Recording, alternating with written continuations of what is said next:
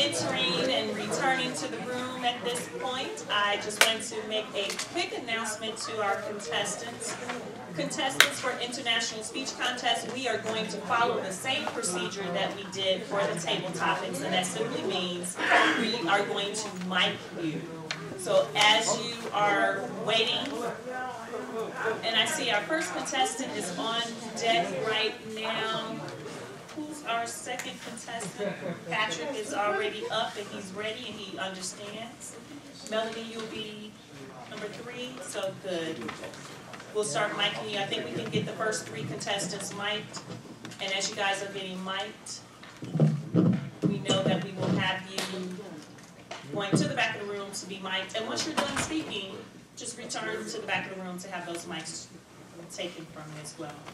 All right, that was a little dialogue to make certain that we could get everyone back into the groove or being back into the room. And since we have everyone back into the room for the most part, we are now done with our 10 minute intermission. I want to thank you guys for your patience and for your participation in the table topic contest.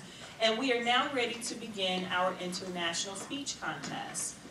Before we start that though, a little birdie whispered into my ear and said, if they say April showers bring May flowers, what does May bring?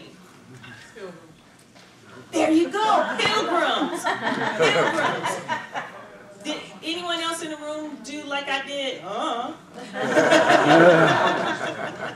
so that was just a little April shower May Mayflower joke there to get us started with this second contest. I want to thank you again for coming into the room. And why don't we give this contest, let's open it up with a round of applause.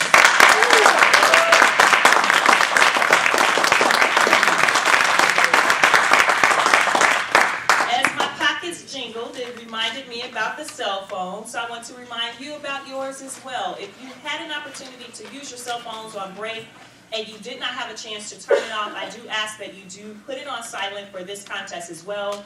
We know that this is the international speech contest, so our contestants will be speaking a little bit longer than the first contest, and we do not want anything disturbing their speaking space. And speaking of speaking, we do have five contestants for this contest. I want to make certain that we have given you the speaking order. So if you would take out your program. I want to make certain that I provide you with the speaking order for the International Speech Contest. Contestant number one will be Mylinson Collins. Contestant number one will be Mylinson Collins. Contestant number two will be Patrick Stevenson. Contestant number two will be Patrick Stevenson. Contestant number three will be Melody Bird. Contestant number three will be Melody Bird. Contestant number four will be Abad, Ab, Abad Ashraf. And earlier today I said to Bob, I said, you had to give me a signal of how to remember your name. He told me I could call him whatever, but I don't want to call him whatever. Abad Ashraf will be contestant number four. And last but not least, our fifth contestant will be Ying Manison. Contestant number five will be Ying Manin. I said Manison. Manin. There we go, Ying. Thank you. See, I was looking to Ying to make sure I got his name correct as well. Perfect. Speaking order has been determined. Silencers have been placed on cell phones. Contestants and functionaries all know what they are doing for this contest. And with that, I would like to say, let the International Speech Contest begin.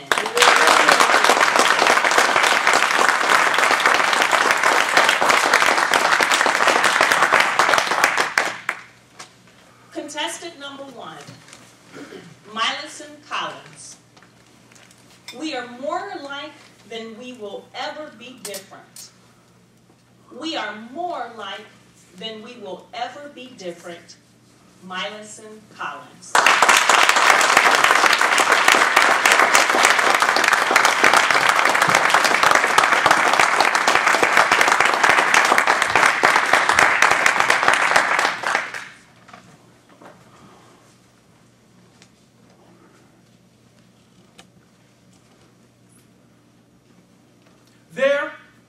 Has been a storm looming within my heart for over 25 years.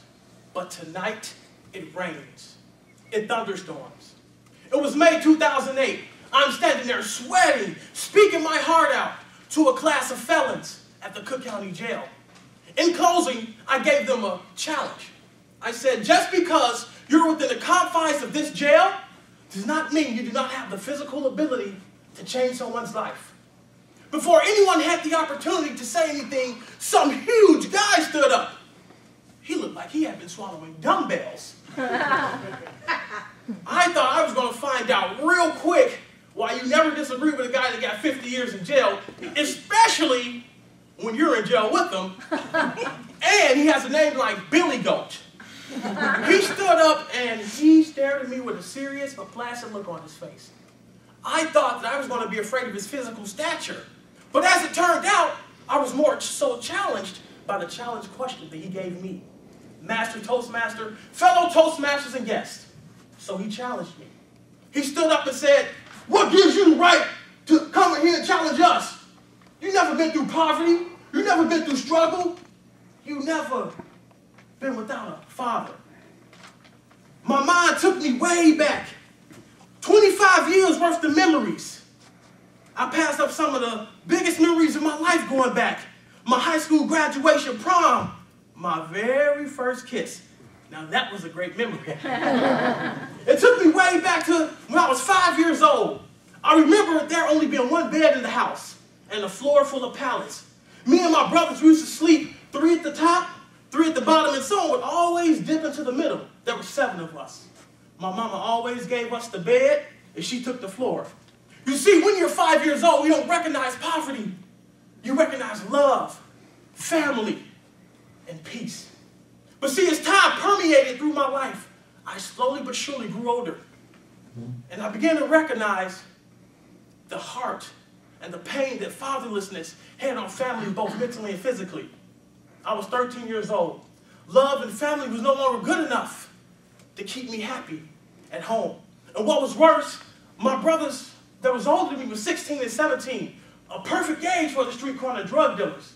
I have very vivid memories how my mom used to kick them, push them, pull them, trying to get them out of bed to go to school.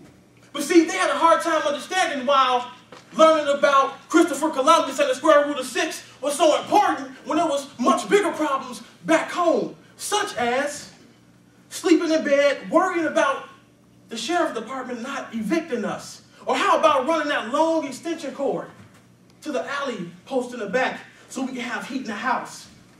Even though my mama no longer run those extension cords today, those memories still run through my veins. Just keep working hard day in and day out. But the biggest memory of all, I'll never forget it. It was the winter of 1998. It was the coldest winter Chicago had ever seen. Again, we were without heat. I'll never forget walking into the bathroom, looking down. I couldn't urinate. The toilet water had froze. I told myself at that point, I will never allow this situation to continue. I will change my life. As my mind brought me back to the scene at the jail, I began to tell the story about how my brothers used to get shot and shot at, beat up, all in an attempt just to try to get out of poverty. Or on a deeper note, trying to play the role of a father. Billy Goat began to nod his head in agreement, because I was giving it to him. Okay? It was as if we had became brothers going back and forth sharing notes. He said, did y'all used to use food, food stamps? I said, man, I used to wear a size 6 shoe, and my bigger brothers used to wear a size 11. My mama made me wear them shoes to school. It was as if we became brothers right in front of each other's eyes. You see, we realized at that point we were more alike than we would ever be different. Slowly but surely, the entire room began to agree in unison. Fellas, we realized that we were more alike than we would ever be different. The echoes in unison started to agree. I, I, I. Was, was, was, was. Absence, absence, absence. Of a father as well. See, I began to realize a trend. 90% of the entire room shared the exact same story. Exact. We had became brothers. And when you're brothers with people, you open up to them. They too began sharing stories how they ran those electric cords. I remember thinking to myself, wait a minute, my mama invented that. Y'all got to pay her a fee. they too share stories about how, how they wanted to get a good education. But drugs and gangs was the only viable solution. You see, they too shared the same story, but they couldn't get out. It was at that point I realized I gave them the wrong story for the wrong group of people. I tried to backtrack, but the prison guard stopped me. Milison, your time is up. We have to put them back into their cells. I was stuck. She began to round them up, put them in a single file line, file them on out the back of the room. I watched the chains and shackles in the back of their head. My heart began to sing. I continued that speech in my heart. As they escorted me out on South California Street, and I continue that speech right here with you all. It was once said by Plato that you can always forgive a child for being afraid of the dark, but you can never forgive a grown man for being afraid of the light to be a father. It was once said by T.D. Jakes. He said he was having a fathers conference at his church a long time ago. They was placing pins on all the fathers in the room. So many people came up to put place pins on him that he began to bleed. But he didn't stop them. He probably did not stop them for the simple fact that just like those pins that hurt it, fatherhood is a painful process. You got to stand there and fight. Just like all the single mothers. All too often we ask them to carry too much of the burden to carry the family. I say thank you to you all tonight. I say thank you to my mother who raised seven children by herself. Let's talk about the 2008 world champion of public speaking, LaShunda Rundles. She said in her winning speech, we would rather die than to have someone forget about us. And we don't want to fly away. All too often, all too often, we allow giants to not be there for us. Those giants been our fathers. We are more alike than we were ever be different. Master.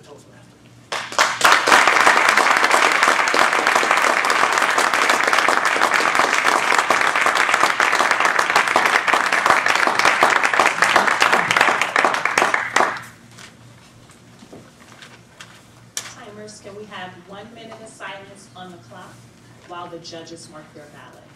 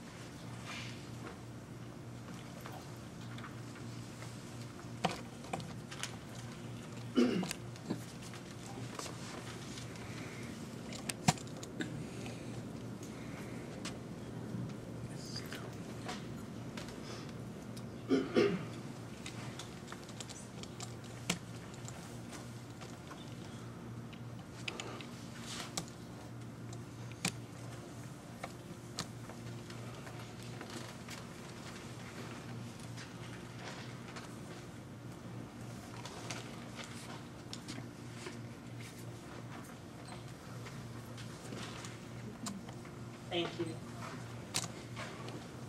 Contestant number two, Patrick Stevenson. The relationship test. The relationship test. Patrick Stevenson.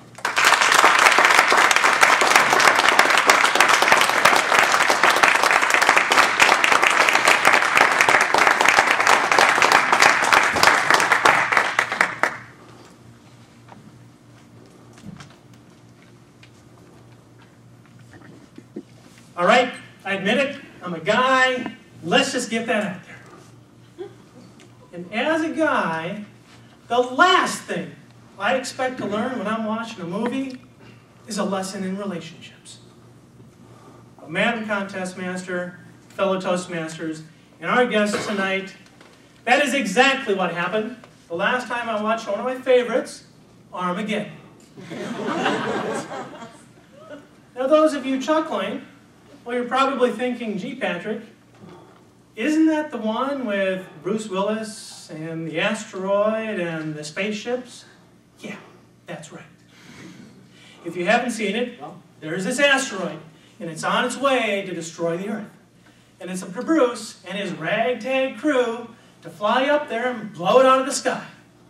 Well, of course, they overcome every obstacle, including a few they create themselves, and in the end, they make it.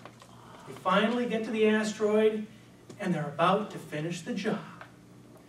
When something goes awry. Well, Bruce has to sacrifice himself for the sake of his daughter and her fiance. And as I'm watching Bruce say goodbye to his lovely daughter, I thought, just blow the thing! I didn't come here to watch this! But then I felt something a little mushy inside me. And I thought, huh, didn't see that one coming. But Armageddon got me twice.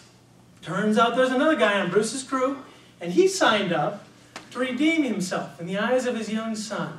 And somehow he survives this suicide mission. At the end of the movie, when the two of them are reunited, that just put me over the edge.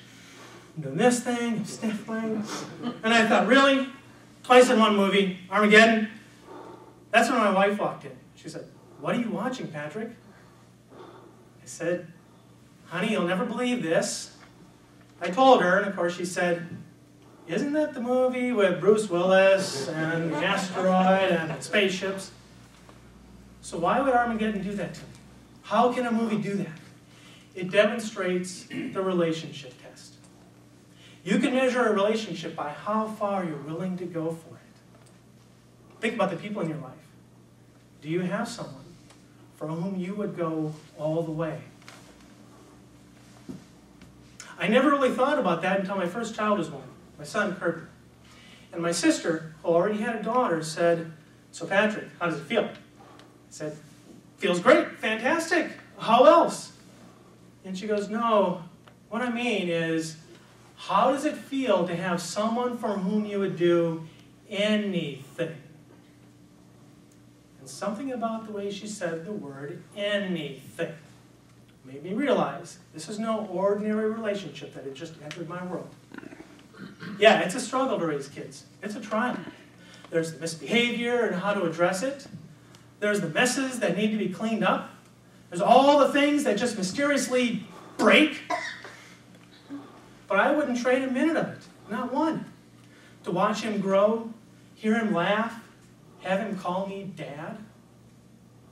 I haven't had to face that ultimate relationship test, but I think about it. And I tell you, it does not happen only in the movies. A few years ago, a young lady in the prime of her life received a terrible diagnosis. She was told she had an advanced stage of cancer, and the doctor said she needed aggressive treatment. She was in the prime of her life with three daughters, a wonderful marriage, and yet she refused. Her husband pleaded with her. Turns out she was pregnant with the family's first son. Starting treatment required terminating the pregnancy. And she told her husband, Yes, I may die, but our son is going to live. She had to tell her daughters that she had to do everything she could for their baby brother, Liam. Well, Lorraine continued the pregnancy, and after six months, her water broke. So 12 weeks premature, they delivered young Liam by cesarean procedure. Immediately, Lorraine went into treatment. Liam went into intensive care. Every day, she got to hold him. She got to talk to him. She got to feed him. She would joke with the staff about which one of the two got more attention from the hospital. and as he gained strength, she and her husband looked forward to the day they could bring him home. That day didn't arrive for Lorraine. She passed away before Liam could go home.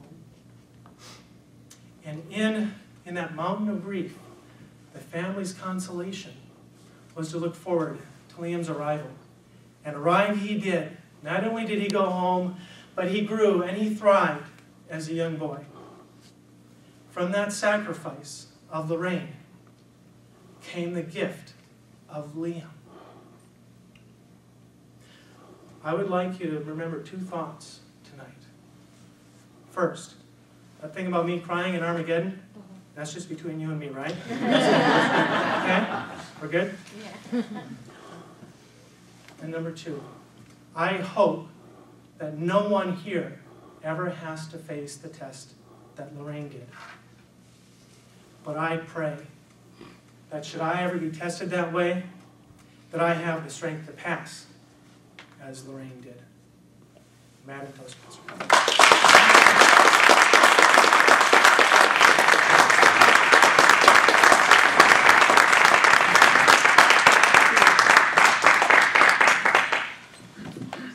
Mr. Timers, can we have one minute of silence on the clock so the judges can mark their ballots?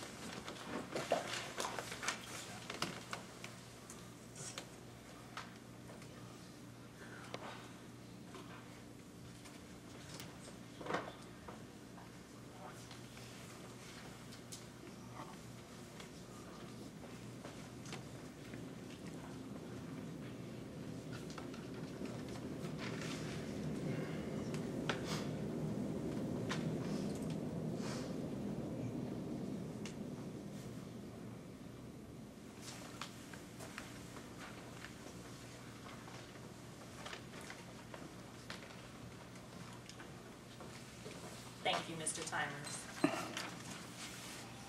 Contestant number three, Melody Bird. My life as a college dropout. My life as a college dropout, Melody Bird.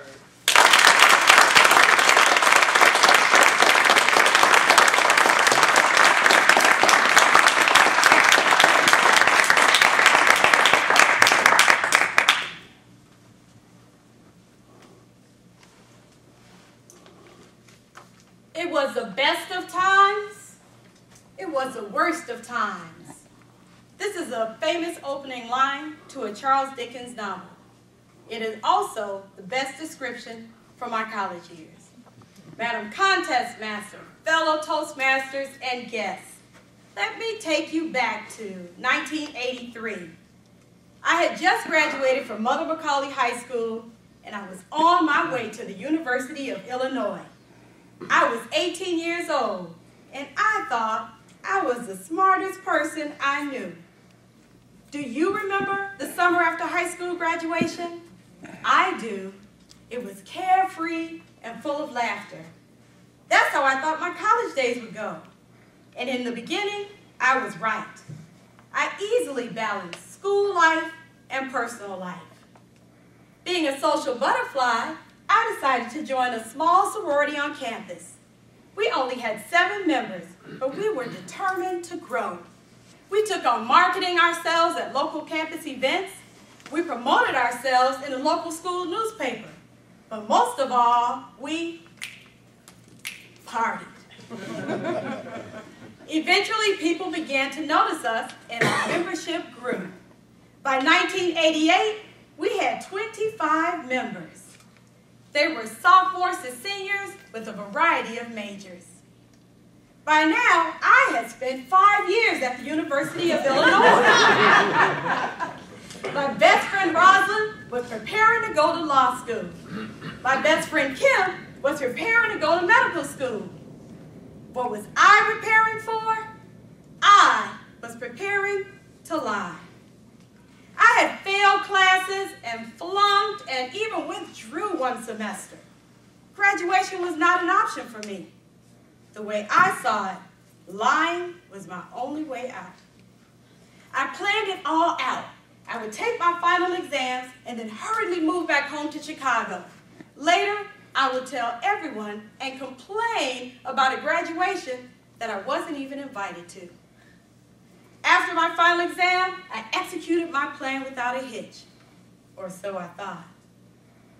When I arrived home, my mom knew something was going on, especially because she wasn't invited to a graduation. However, she didn't say anything right away. My strong, my small stature mom with a strong work ethic told me to start looking for a job. That's what I did. Every Sunday, I would go to the 7-Eleven. I would buy a big Chicago Tribune newspaper. Remember, this is the 80s. I would take a red pen and I would circle all the jobs that I planned to apply for. I figured with five, uh, four years of college under my belt, I could get a good job. I sent out 20 to 30 resumes a week, and within a month, I got one interview. Later that night, as I sat on my bed thinking about the interview, I looked at the newspapers strewn all across the floor. My resume sat atop unpacked boxes of college memorabilia. My resume suit in a crumple on my bed. My mom walked in and started with the questions. Hmm. How was the interview? The tears started immediately. It was okay, Mom. But the lady said to call her after I graduate. In reality, I had no idea when that was going to be. Then my mom asked me two questions that define the course of my life. What are you going to do? I want to go back to college and graduate. I don't want to be a dropout. Why do you want to do it? I want to get a good job and buy a blue car. All right then, go back and graduate. And that's what I did. This time, I did it differently though. I didn't want to drop out twice. I actually skipped the partying and I went to class. I finished the semester with one A and three Bs. The following semester, I completed an internship. Within weeks of graduating, I landed a position at a local insurance company. I've been working in healthcare ever since. Now, I bet some of you have a story similar to mine. We love to start projects. It's so exciting. However, there are only a few of us that successfully complete all of our projects. Next time you're considering starting a project, I want you to ask yourself the two questions my mom asked me. What are you going to do? And why do you want to do it? Answer very carefully and clearly because vagueness paves the path to failure. Believe me, I know. So, if you're thinking about starting a project soon, think about those two questions. And also do two other things once you decide to move forward. Commit and not quit. Madam Contest.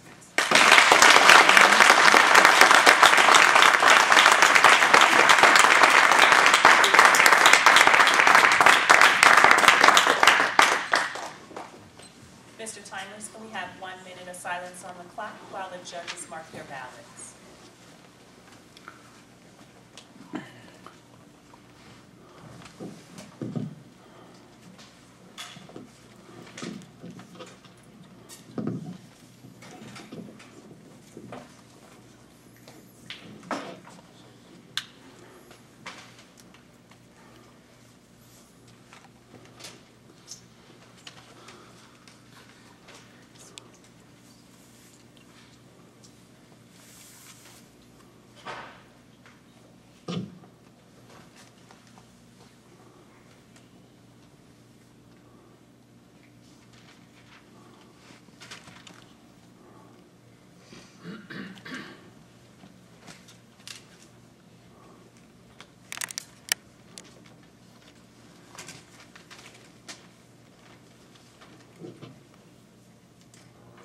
Thank you, Mr. Timeless.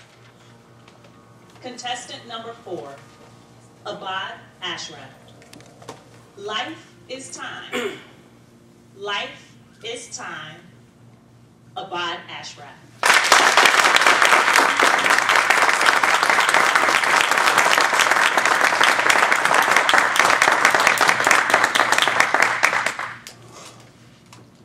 The sun rose and fell today. Let's take time to reflect on the world. I will speak about history. You will learn why history repeats itself, and you will decide how will you be remembered in history. Dear Toastmasters, Toastmistresses, and honored guests, as a leader, I learned over time, anger should not be responded with anger. Reflecting on the moments I was angry in my lifetime led me to a deep philosophical question. What is the meaning of life? Life is time. Time is running out. Some of you may be thinking, people pretend to be petulant and dismissive monarchs. They will not change. What's the point? I once heard a saying which still brings hope to me. Omnes pro omnibus, unes pro uno. It means one for all and all for one. I'm going to ask you to repeat after me. One for all and all for one. It's a timeless quote from the Three Musketeers.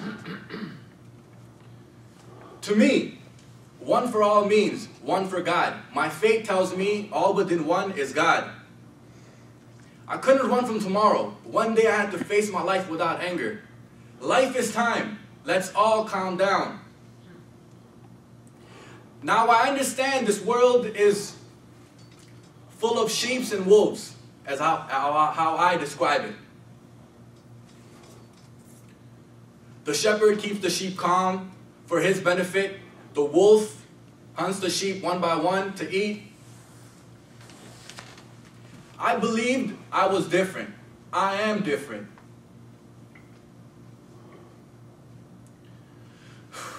So there was a problem. I realized over time that this world is a place where the powerful get away with whatever they want, and that's just the way it really is. Life is time. It's over when God says it's over. For those of you who are warriors at heart, who like to fight every day in life, work hard. There once was a boy who was fearless. In ancient Rome, as a Roman general was parading through the streets, this boy was tasked with reminding the general that although at his peak, peak today, tomorrow he could fall, or more likely, be brought down. It is further possible that the servant may have instead advised, Respis posti, hominum te esse momento, memento mori, which means, look behind you, remember that you are but a man, remember that you'll die. The moral of the story is, life is time, death is certain. 25 centuries ago, a hero suffered death through an unjust judgment.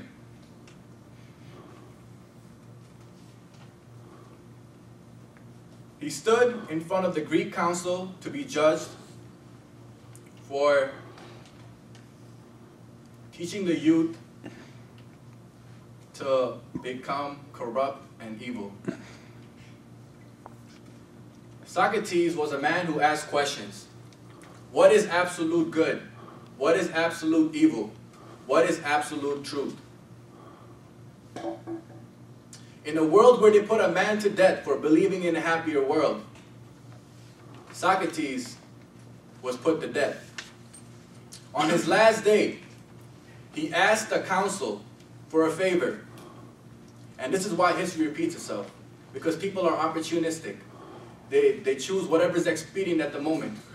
They don't care about their values. They don't care about what is right. They care about what is, what's the most benefit for me. He said, I have a favor to ask of you. When my sons are grown up, if they care about riches or anything more than virtue, if they pretend to be something when they are really nothing, for not caring about, for what they ought to care for, trouble them as I trouble you. Confucius, the father of Eastern philosophy, agreed with Socrates, the father of Western philosophy. His story was told to a boy who one day would change the world. So began the legend of Alexander the Great, the student of Aristotle, the student of Plato, student of Socrates. Socrates said, What is the problem with the world? I have a solution. For all the problems in the world, the solution is one for all and All for one.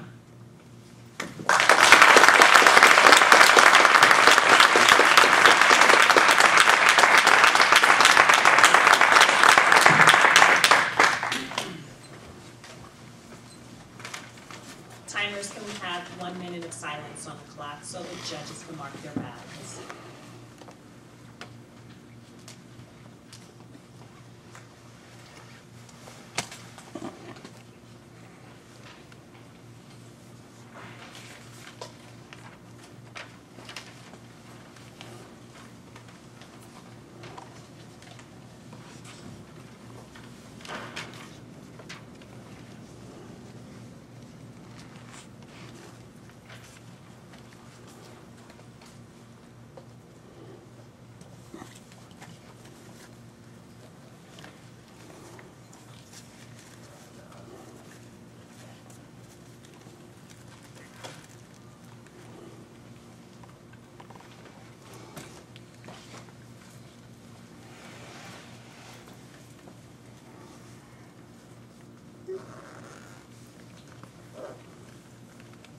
Thank you, Mr. Timers.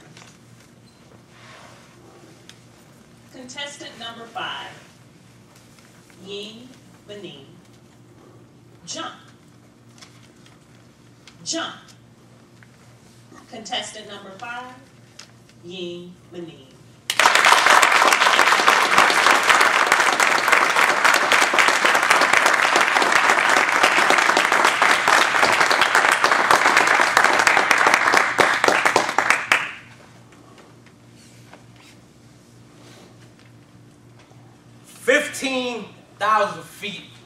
In the air. You're on your knees. You're making your way towards the door. The door opens. You're getting ready to attempt your first skydive. One thought comes in mind. Two words that cripple mankind's ambition, goals, and any achievement worthwhile in life. I can't. I can't. Fellow Toastmasters, honored guests, have you ever talked yourself into something and talk yourself right out of it? By the show of hands. How did I get into this predicament? For 27 years of my life, I've been scared. I've been passive. I've been timid. I used to hide behind groups, sit in the back of the classroom. I knew the answer, and I still wouldn't raise my hand. And I took that into my adulthood life. Luckily, Barnes and Nobles, Amazon.com, we have a such thing called personal development. And I read a few books, and all those books said similar things. Face your fear. Jump over things. Get out of your comfort zone. So I've decided I need to do something with myself because one day I will not be here. I've been scared of heights, scared of girls, scared of everything else. But I'm not scared to die because one day I will. Skydive. That's how you do it. I drove an hour and a half to Ottawa, Illinois. Took a 30 minute class. I signed my signature on a waiver form. what do you think the waiver form said? yes, you might not make it. But I've been hiding behind that chair, that podium, that weakness for so long. I couldn't do it anymore. So yes, 15,000 feet in the air, I crawled on my knees. I looked down. I said, I can't. But it's that one person on your left, which is you. The other you, not that you, the other you. Aren't you tired of being a loser? Aren't you tired of not living to your full potential? Aren't you tired of just putting yourself in a cage that doesn't exist? And don't you see those two girls behind you? don't you know? If they jump and you don't, and you see them in the parking lot, they're pretty, and that's an ugly situation. I said to myself, you know what? You're right. And I remember taking that class, the 30 minute class. I remember three things ready, set, and jump. So this is exactly what I did. I told my instructor, I'm ready. Ready, set, jump.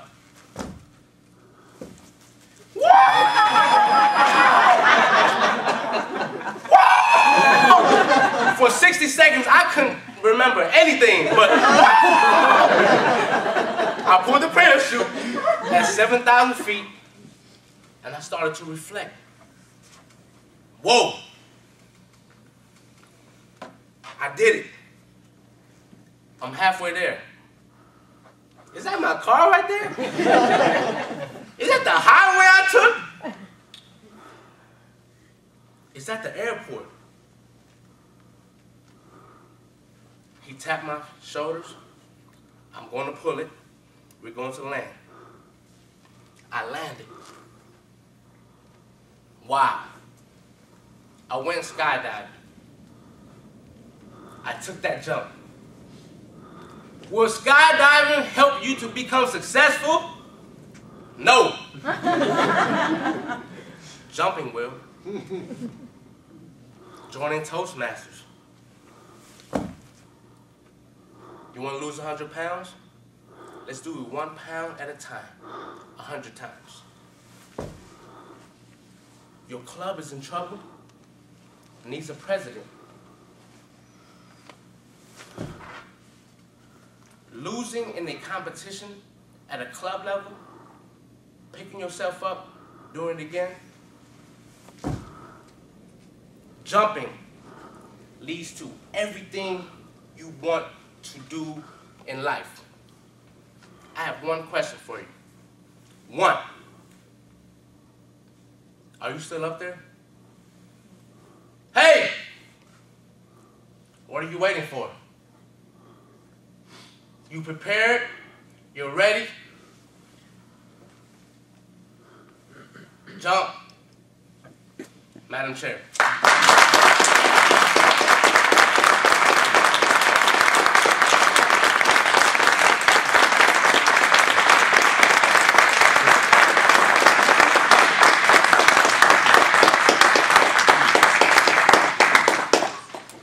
I now ask for moments of silence so that our judges can mark their ballots. And that means for all of us to give them that opportunity for moment of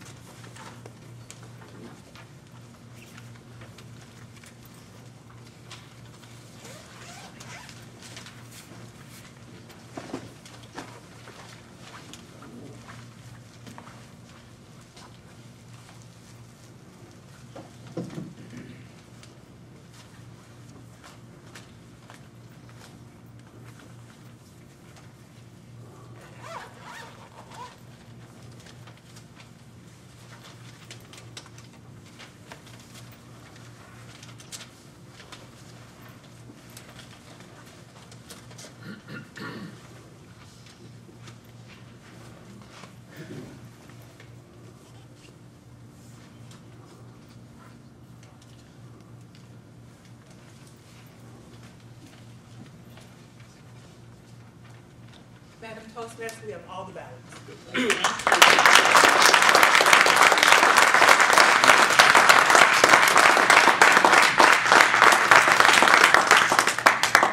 At this time, what I would like to do is to get to know the contestants that competed tonight in both the Table Topics Contest as well as the International Speech Contest. Why don't I first allow the table topic contestants to come up onto the stage? And if you could line up on the stage according to the order in which you competed, that would be perfect.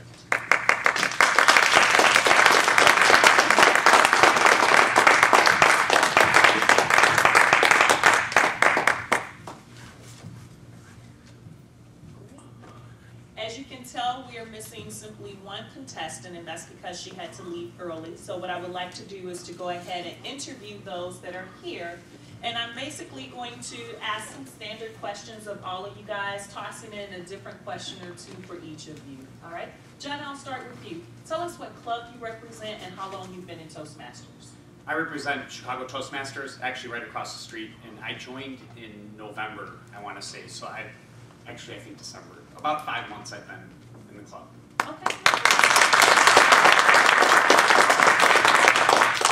Now, since it's been only about five months, I won't ask you what certifications you've achieved thus far, unless you've been Speedy Gonzalez and you have acquired some achievements. Not- That's okay. not yet. That's okay. You do have an achievement, though. You competed in tonight's contest. Yes. Give 'em a round. John, as I'm looking at your list here, your bio, your profile, something that really strikes me, which does go in alignment with the fact that you've only been a member for about five months, and although you don't have a CL or ALB or any of those acronyms behind your name, something that you say really inspires you are results. And I think that you are demonstrating that today. Yet, let me ask for you to elaborate a little bit more on that. Why do you say that results is what inspires you? Well, it's a great question, and luckily I was asked that question at the the uh, prior competition. So Rehearse? yes, it's, it's So what I had answered it then is that at the end of the day, what is there without results? And I equated it to exercise, and I'm sure the gentleman here who talked about weightlifting can can attest to the fact that exercise is something that you have to basically do for six weeks before you can actually look in the mirror and say, wow, I see a result. And without those results, there's nothing to keep you going. So that's why results are really, at the end of the day, what inspires me. Without results, why, why get up in the morning? Wow. Would you say that you actually acquired some results from being into tonight's contest? Yeah, I, it, uh, they were painful, but I, I got them. Good. Well, John, on behalf of Central North Division and the contest chair, Bill Muriel, as well as all of us here tonight that helped to put this contest on, I would like to present you with this speech contest certificate of participation for the spring 2013 Central North Table Topics Contest. Congratulations. Thank you.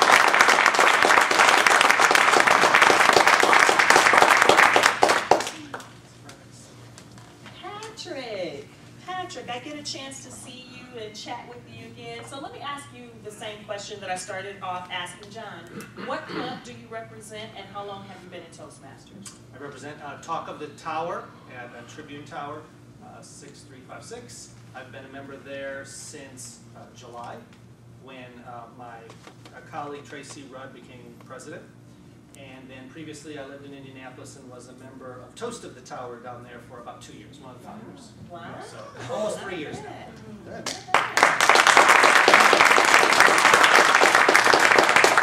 So the names of the Toastmaster clubs are almost About that, yes. Yeah, that, that's interesting.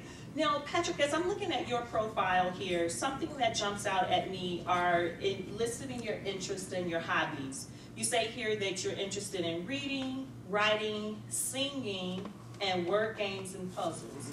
Out of the four of those that you have listed here, which one do you really enjoy the most? Singing. Singing. That, that, that just, yeah, I sing with my church, and one of the things we say there is singing is praying twice. Yeah. So um, I like that part of it on the face side, but otherwise, singing just always lifts people's spirits. It makes you feel good. It takes you to a different place. You get to exercise your vocal cords, which helps here. Um, it's, it's fun. See, they are reading my mind. So Patrick, if there was anything that you wanted to sing for us tonight to help us walk out of this room with, what is it you would share with us? Give us a, a, a. a- Well, I already did We Shall Overcome, right? I mean, good for today's anniversary. Uh, how about Zippity Doo Dah? We all know that, right? Zippity Doo Dah, Zippity Yay. There we go. Oh my, what a wonderful day. Here we go. It's a Toastmaster anthem. Patrick thought he was slick on that one, right? We wanted him to do the singing, us the singing. However, I do want Patrick to close us out with a quote. He has a quote here, one of his favorite quotes. And is it in Spanish? It is. It's in Spanish. Tell us what you have written here. All right, for the young at heart, let's see who knows this. Por favor, manténganse alejado de las puertas. Please stand clear of the door. From, The CTA trains. yeah, but young at heart. It's true, yes. But it was made popular at Walt Disney World, the monorail. Oh, not. Now, what you guys don't know is that I had an opportunity to chat with Patrick earlier today. He was making the attempt to catch a train, so I presented him with his certificate at that point. But I did want to have an opportunity to allow you to do what I want to do at this point, and that's to provide him with a round of applause for.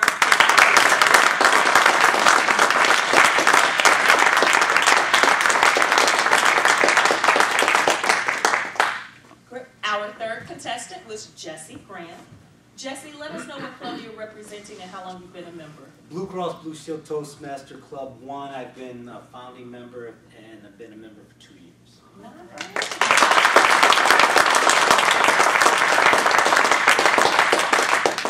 Any certifications? I have my uh, CL and my half CC. I've also competed in three contests. And one of my most proudest moments was getting my half comp, and I bragged about that. Well, congratulations. Give him a round of applause.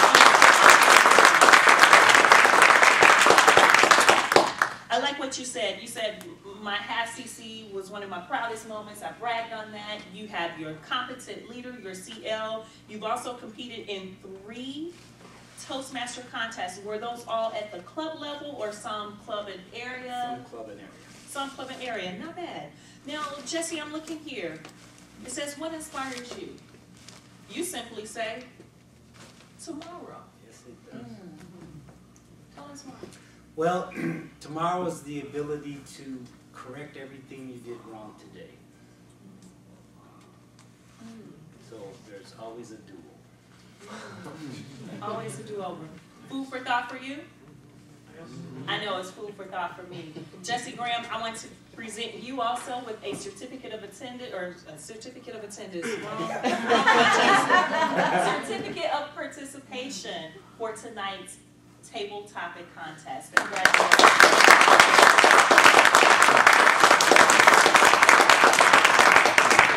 And Jesse, I'm glad I didn't have to wait until tomorrow to have that do-over. Thank you. Vincent Del Toro, tell us what club you represent. How long have you been a member? I'm a member of Ying Menines Toastmasters of Lincoln Park, or to, excuse me, Toast, Michigan Avenue Toastmasters. That's my other club. I've been a member of Michigan Avenue Toastmasters for 10 months. Oh, wow, not bad. Have you acquired any certifications as of yet? I have no certifications, I don't have my CC yet, so technically that makes me an incompetent communicator.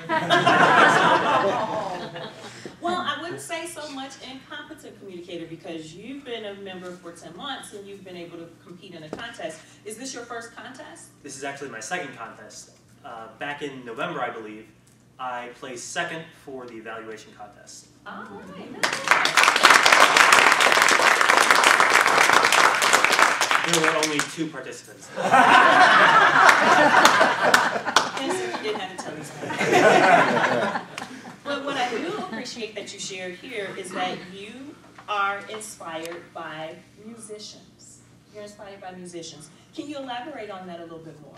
Absolutely. I think I wanted to choose something specific, but then I thought, how about something broad that we can all relate to? So I might have a favorite musician. I like this guy named Mitch Allan. He does this punk rock called SR71. But everyone has their favorite musicians. Musicians who just make you feel so amazing. And it's because they take all this stuff, all this life, all these experiences that people have had, whether in the prison or whether growing through poverty or whether 2,500 years ago with Socrates, and they condense it into a five minute song. It's just amazing. Not bad, not bad. Now, you know I'm curious in finding out as you were going through lifting weights and building up muscles, did you have a special song that inspired you to go through that process? Actually, I did. There's this song called Remember the Name by, by Fort Minor. Um, the lead singer was from Linkin Park, I think, but it's a very big workout song. It's heavy bass, it really gets you pumped up. All right. Well, I'm glad you were pumped up enough tonight to participate in this contest, and I want to present you also with a certificate of participation. Thank you very much.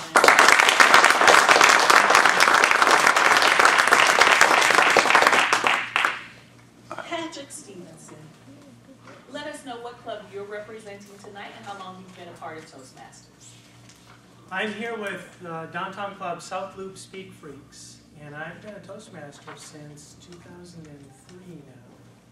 Not bad, not bad. Certifications? I am an advanced communicator bronze and an advanced leader bronze, so I still have a bit of a track with DTM. Not bad, but you have started that process. And something that I've noticed also here, Patrick, that you have listed is with your interests. You say that you, one of them, you've listed camping and also scouts. Are That's they- right. They, in fact, they are very related.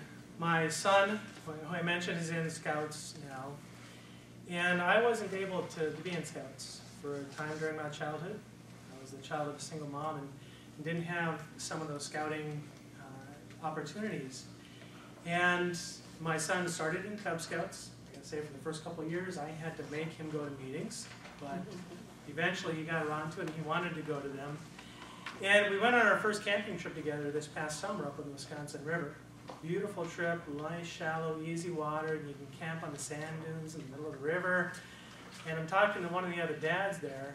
It's like, boy, you know, I actually made sure my son was going to be here so we could go camping together because I never did that. And he's like, you know, that's why I made some of my son join this thing too. Mm-hmm. Not bad. And I know tonight your speech title was the relationship test. You had a sound spike with camping and scouts. You definitely have the relationship building as an integral part of who you are and what you do with your family and with your I hope so. Good. Patrick, congratulations for tonight and thank you for your participation.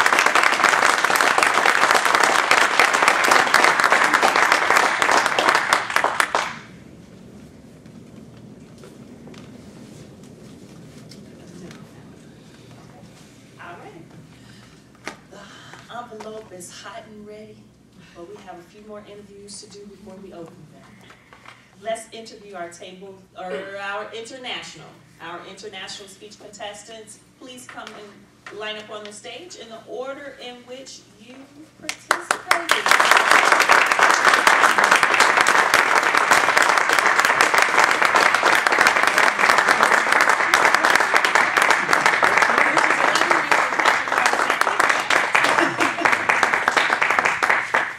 Looking over at Patrick sitting there, knowing that Patrick played dual roles tonight. And we have all five of our contestants for the International Speech Contest represented.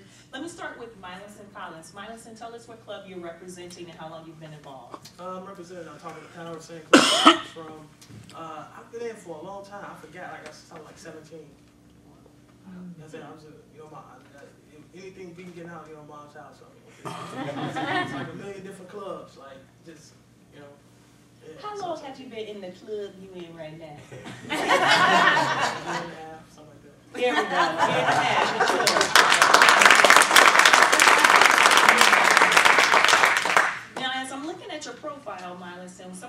noticing is that it's sharing here that you are self-employed, is it? That's right. Yeah. Tell us exactly what you're doing. Definitely. Uh, I started my own um, financial advisory company. Uh, you know, we trade stocks, uh, financial advice. I mean, all, all things financial. You know, life insurance, health insurance, financial advice, retirement planning, things of that nature. It's the name of my company is called Collins Financial. Collins Financial. Now, if you had to leave us with one word of wisdom regarding financial advice, what would it be for tonight? Patience. You know, uh, America is in debt right now because we don't have patience. Uh, one of my personal mentors who lives, he owns a, a million dollar financial company. You know, we talk all the time, and just America don't have patience. We see everything we get, just patience and planning, patience and planning. All right. Well, since you've been involved since you were 17, I guess you have a lot of patience. Milison, thank you so much for competing in tonight's international speech contest, and this is your certificate of participation.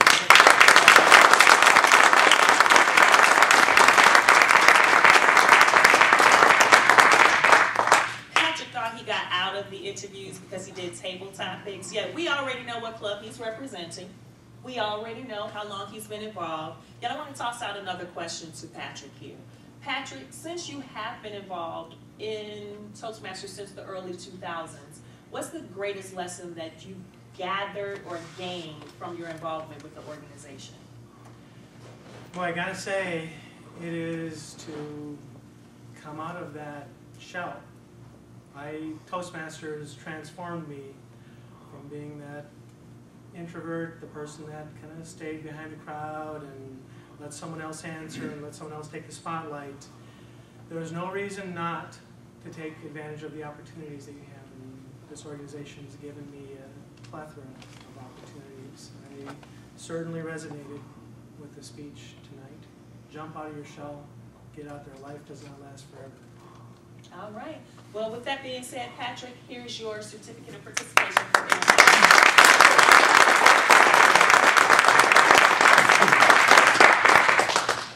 Miss Melody Bird, tell us what club you're representing and how long you've been involved. I've been a member of Millennium Park Toastmasters, club number 6667, since July 2010. All right. Any certifications thus far? CC and CL. All right.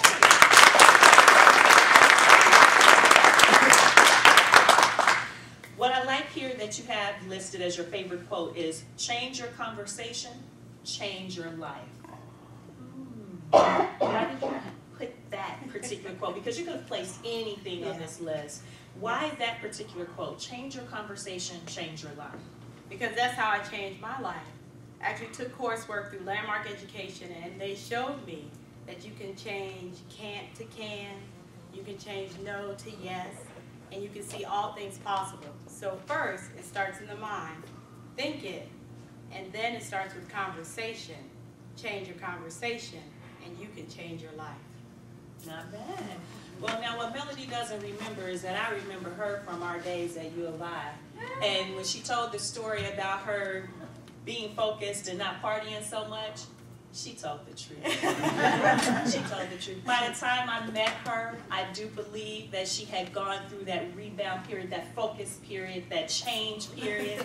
And what she demonstrated in tonight's speech was that she really embraces that quote change your conversation, change your life. Yet you were able to answer that question first that your mom asked you in order to get your life in order. So you would not be a college dropout. So thank you for sharing your story tonight in the International Speech Contest, and this is your certificate of participation.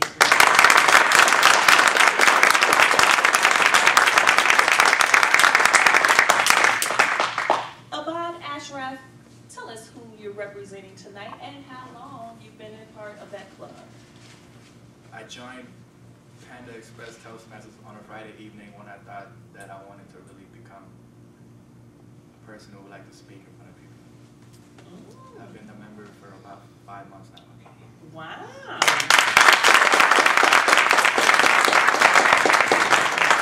You know what's amazing to me is that you remember it was a Friday night. Mm. yeah, I, I'm usually doing something on Friday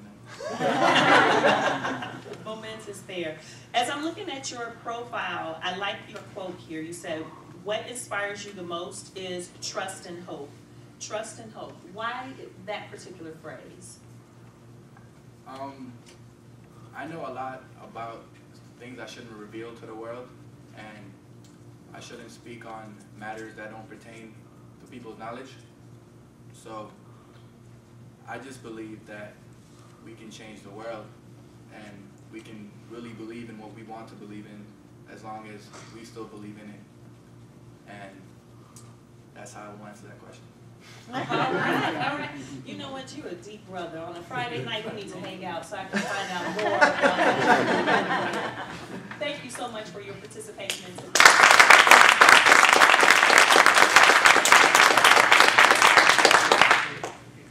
I know what club you're part of, although I want you to tell them again. Everyone, Ying, Manine, tell us what club you represent, how long you've been in part. Uh, beautiful Drake Hotel, Tuesday evening, every Tuesday, 6.30, Michigan Avenue Toastmasters, 6.30 to 8 p.m. Come enjoy the magical moment of Michigan Avenue Toastmasters.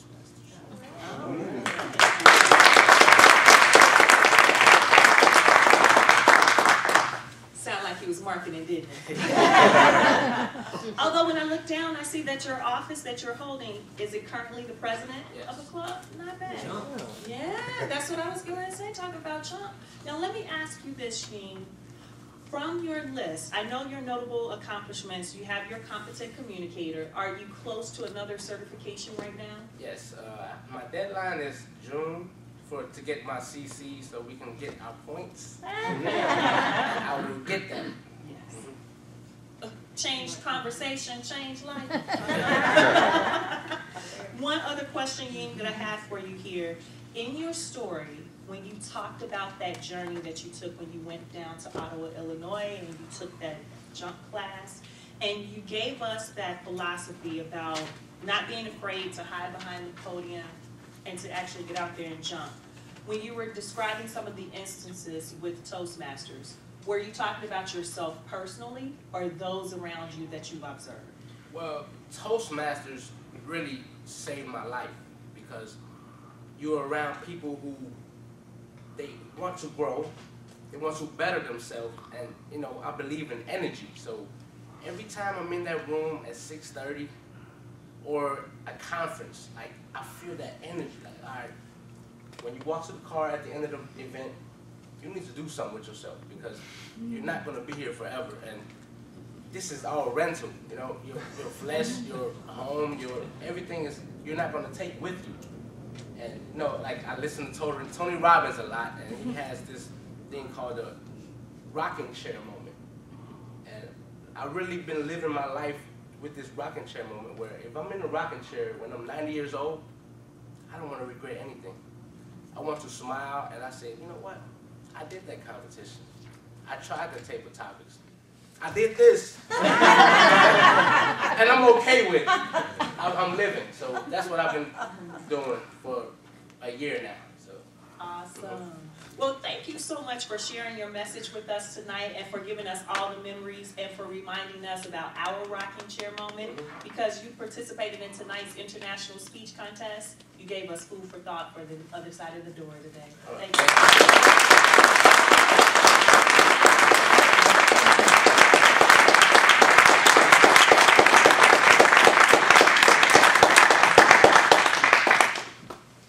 I'm looking to our contest chair to get him to come forward.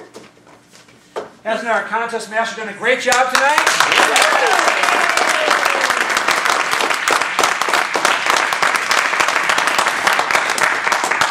Toastmasters is a great place to learn, a great place to get coaching, and a great place to share communication. Let's welcome our videographer for a quick two-minute information. Tim.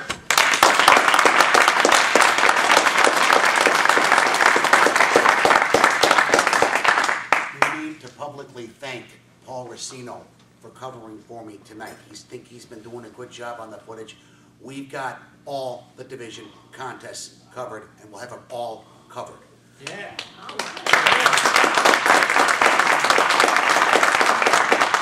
There's over three years of contest footage from division level and above available at www.timsvideo.com. Over 300 hours of Toastmasters content. See me, I have cards afterwards. This will be ready.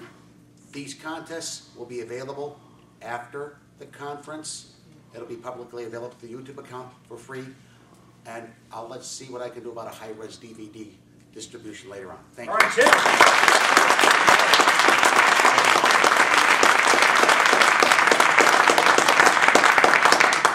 My goal was to finish right around 8:15, and we're right there. Just a little bit of etiquette, how we're going to do the announcing of the winners and the presentations. If you have been a district officer, such as an area governor or division governor or in the past, or this year, can you raise your hand? Okay, if you're not a contestant, I'd like you to line up back over by Linda. We're gonna have a receiving line of our district officers, past and current. So if you guys can stand in the back, over there, our current district officers and past district officers. And we have Ethel and Don, our district P and O and division governor, come up here to help at the front for our front receiving line. So Ethel and Don, come on up. So here's what we're going to do. I'm going to ask Don and Ethel to take a first and second place trophy and a third place trophy. We're going to announce the winners. The third place winner is going to stand here on the stage. Stay here. Then the second place winner, the first place winner, Heather, raise your hand. She's going to take some pictures. After the three trophies have been presented, I want everybody who competed in table topics to go to the back of the room and shake hands. You guys were leaders tonight. Win or lose, you have won our hearts. You have won the time of communicating. And I want the leaders of our district and our division to congratulate you whether you have a trophy or not. So again, directions, we're going to present the first, second, and third place trophies. You get your certificate from the contest master. First, second, third people stay up here. Heather will take the pictures. After the picture's over, everybody competed. Go to the back of the line to get the leadership handshake for the great job you've done. And let's give them one more round of applause for great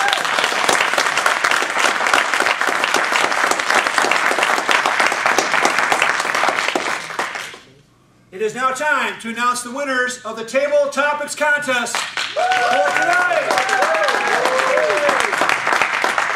Starting with third place, she's not represented yet. Ava Tony Snyder.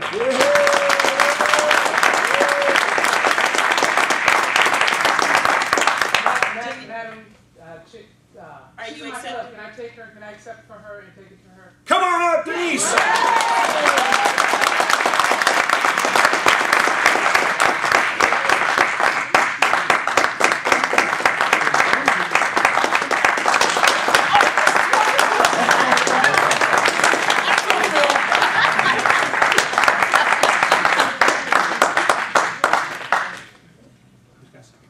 Our second place winner for tonight's table topic contest is Patrick Johansson.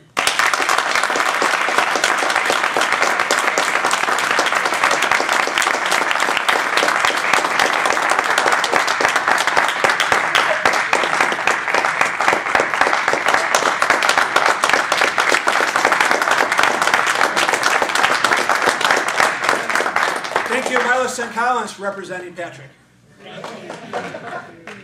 And if we can have a drum roll, please. Our first place winner for the Spring 2013 Central North Division Table Topic Contest is Patrick Stevenson.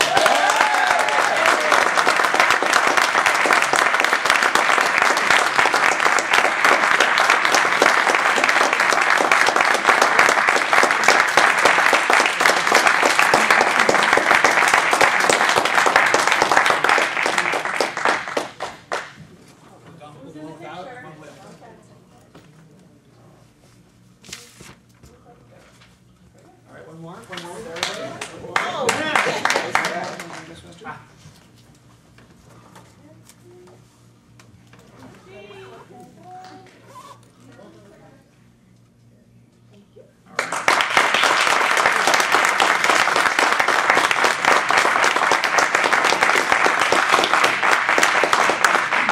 Let's hear it one more time for our table topics contest.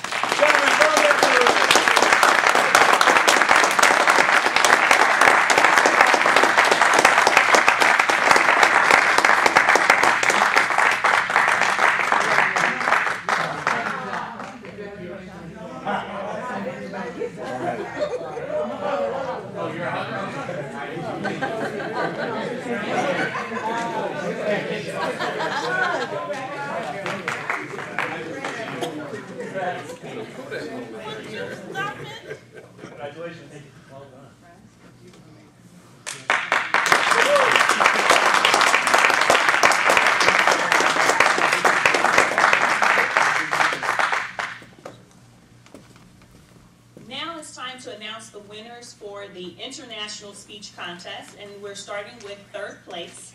Our third place winner for the Spring 2013 Central North Division International Speech Contest is Myla Collins. Yeah.